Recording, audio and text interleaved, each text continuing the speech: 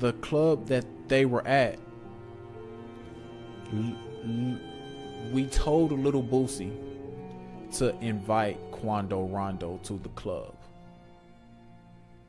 And we found out that King Von had a place at had a booking at that specific club.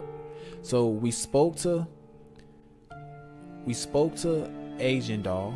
We told her to take take on Quando Rondo and NBA YoungBoy's proceeds, which it, it, none of it was real. It was all just to get King Von to hang himself.